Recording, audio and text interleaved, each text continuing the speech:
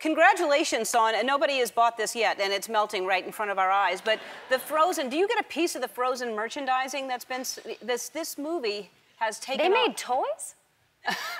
no, I didn't. I no, I don't. So, so you must have known. I mean, Disney makes great movies. All their movies are great, but this movie in particular. Yeah, well, I don't think anyone can foresee the the like box office, like craziness that it hit. But I'll tell you, when we were making it, there was a part of me that was going like, "This is really special." Like I, I've been a part of a lot of things, but this it just felt so unique, and I'm so proud of it because it's just it's unlike anything they've ever done, and I love the fact that it's not about romantic love. It's about believing in someone, even when they don't believe in themselves. And I, I just get so proud when I think that I was a part of a project that's shown to kids that, you know, just tells them, like, be who you are, be different, be quirky, and let it go, you know? And let it go. And, and your daughter will grow up and watch this movie and go, my mommy was in this amazing movie. Yeah, You've got to be me proud very of that. proud. Makes me very proud. And you hope that there's a sequel, I assume. I would certainly do a sequel Yeah. if anyone asked me.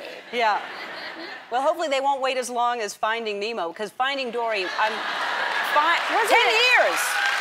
Ten years. You can imagine, like I can't, no. it was so successful, and I'm like, well, for sure they'll make a sequel. Yeah. And then it's like ten years later. That's so strange. I wonder why they do that. Uh, well, because they were making other things and they wanted to get the script right. This is what they told me, blah, blah, blah. But anyway, but it's Finding Dory and it's a great, ca- I'm excited. It'll, I think it comes out in the year 2060 or something like that. It's, I can't wait to see it. yeah, me too. I can't wait to. Um, your daughter is, uh, Dax was telling me that she's almost one now. Yeah, she just turned one, yeah. Wow, I can't believe she's already I one. know, it seems like you just had that baby. I, it feels like I did. Uh-huh. But now she runs around and talks, and it's mostly Does she, nonsensical. yeah, I was gonna say, does she talk at one? Mm, She does a little bit. I mean, she says mama, dada, and tries to say boobies, which sometimes comes out, which is really cute. Is that a necessary word for her to learn For her, point? yeah, because she all, all day she looks at me and goes, milk. She wants milk. So I'm a, I'm a walking food truck. that's how it's done? I, it's, No, that's the signage for it. okay, okay, because I thought there wasn't necessary that. No, it's a lot more comfortable than that. uh, that would be annoying, really. Yeah, just give her a bottle. Does your baby dance like that? Not like that, but she does love to dance. And Is she a good dancer? She's a pretty decent dancer. She points at the jam box in our living room when she wants to dance. Wait, you have a jam box in your living room? Of course. Like, what a silly question. Like the kind of thing you used to roller skate to Yeah, in the you 80s could- or You something? could put it on your shoulder if you felt like it, Uh-huh. but you can throw any music to it. And she loves R&B, and she has like a series of moves where she she just lets her her hips take her away, Uh-huh. and she loves to Jersey Turnpike. I don't know that.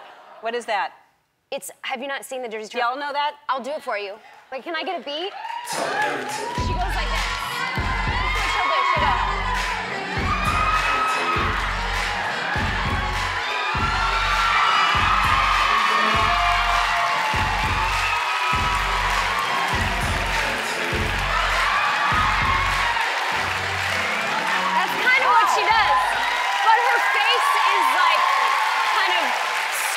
throughout. Wow. Yeah. That's amazing. That's, uh, Her body takes her away, man. She travels when she dances. I can't explain it. that's a risky thing to do on a dance floor, I think. but, but that's impressive that she does that. So That's now adorable. we both do it with her because she starts it. And I think it started because she didn't have a ton of balance. Right. And then now we've encouraged it, and that's like Yeah. her go to move. That's probably how it started with a lot of dancers. They just were drunk and they ended up on the ground and they're like, let's call it the Jersey Turnpike. But let's make this a move. Yeah.